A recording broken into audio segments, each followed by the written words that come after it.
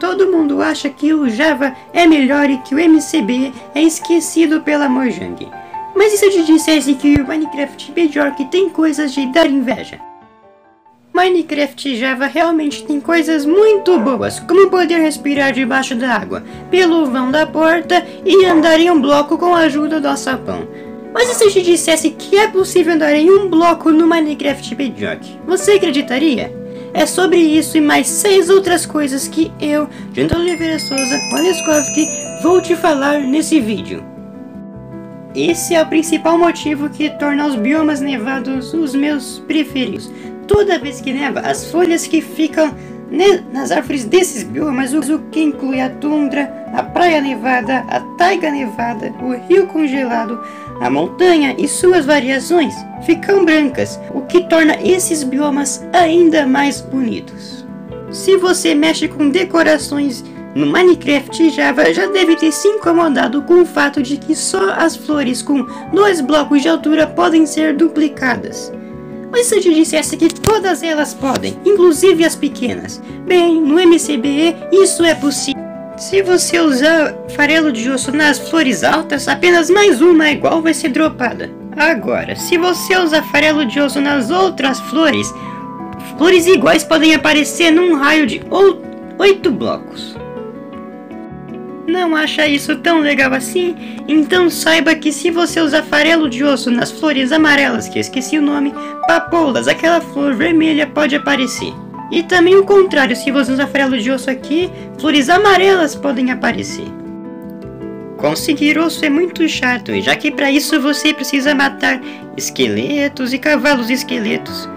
Isso é ruim caso, assim como eu, você não goste de jogar fora do Pacífico. De acordo com a Minecraft Wiki, o bacalhau, o baiacu, os peixes tropicais e o salmão têm 25% de chance de dropar ossos quando mortos. Isso significa que, a cada 4 peixes dessas espécies, um acaba dropando um osso. Normalmente, esses peixes dropam até dois ossos, mas se você matá-los com saque, mais ossos eles vão dropar. Ao contrário dos outros peixes, os salmões médios e pequenos, que curiosamente também só existem no MCBE, só podem dropar até um osso. Enquanto os outros peixes podem dropar de 2 a 8 ossos com saque 3, os salmões médios e pequenos só podem dropar de 2 a 7 ossos com saque 3. Independente do tipo de peixe, cada nível de saque aumenta em 1% a chance de dropar ossos sendo 25%, que eu já falei agora há pouco, sem saque, 26% com saque 1, 27% com saque 2 e 28% com saque 3. Se você ficou confuso com tanta informação, só pense que você pode conseguir osso de peixe no Minecraft Bjork. Quando você quer minerar mais rápido ainda, você faz uma picareta melhor. Mas e se você tiver uma picareta de nederito? O que você faz? Encanta ela, é claro. Mas e se eu te dissesse que é possível usar livros de encantamento sem somá-los à picareta? No Minecraft Bjork isso é possível. Mas vai com calma porque isso só funciona com dois livros, com aspecto de fogo e com reparação. De acordo com o que entendi lendo a Minecraft Wiki, se você tiver com um livro de reparação na mão, remendo para os mais íntimos, e tiver quebrando um bloco que dropa XP e pode ser quebrado com a mão, ele vai dropar o respectivo XP.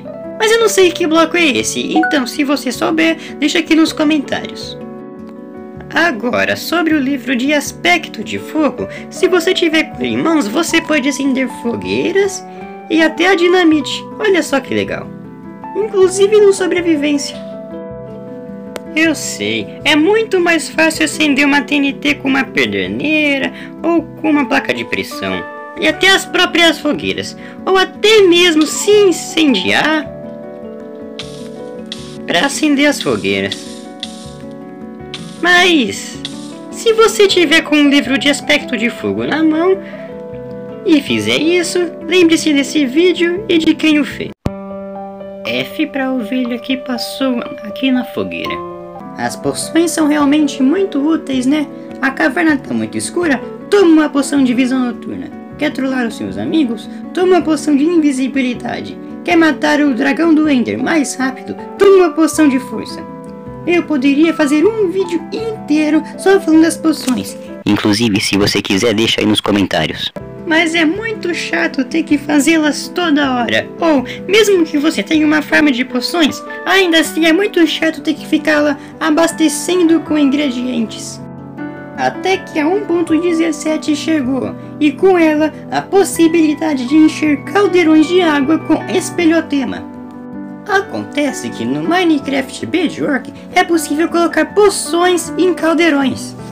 Ou seja, se você deixar que uma estalactite coloque água nesse caldeirão, a poção vai se tornar renovável. Mas lembre-se de deixar o restinho lá no fundo, senão não vai adiantar não.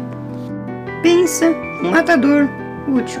Sem ele, teríamos que fazer, por exemplo, numa farm de pólvora, aquele tubo gigante para matar os creepers. Eu sou a mulher do Google e estou aqui para avisar que, se você sair agora, vai perder a melhor parte. Eu avisei. Tá, mas que matador é esse?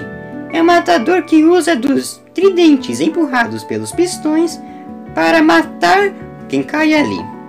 Bom, se você quiser aprender a fazer, clica aqui no card ou na tela final, ou me pede nos comentários que eu faça um vídeo. Se tem uma coisa que deixa todo jogador de Minecraft triste, é ver o seu youtuber de Minecraft favorito agachando com a ajuda do alçapão e sabendo que você não pode fazer isso, porque muito provavelmente ele joga no Minecraft Java no PC e você Bedrock no celular.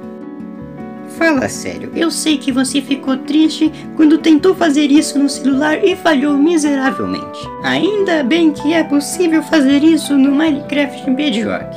É tão bom para fazer passagens secretas ou para minerar. Deixa eu te mostrar como é que se faz. Primeiro você vai colocar água em algum lugar e começar a nadar nessa água. Depois você vai entrar em um espaço de um bloco. Depois, mais cedo ou mais tarde, você vai sair dessa água. E veja, eu estou andando em um bloco. Agora, se eu for para frente e quebrando, eu ainda vou conseguir. Olha só. Isso não é incrível? E você achando que não dava para fazer isso no MCB. Inclusive, olha meu bonequinho de papel aqui. Ele está nadando. Olha só que legal. Sabe de uma coisa? O Minecraft Bedrock, também conhecido como MCB, tem tantas coisas que só ele tem que daria para fazer mais e mais vídeos só desse assunto. Portanto, se você quiser, tanto deixe o seu like, como diga aqui nos comentários outras coisas que só ele tem. Eu sou Jonathan Oliveira Souza, o Alex Kovic, e obrigado por assistir esse vídeo.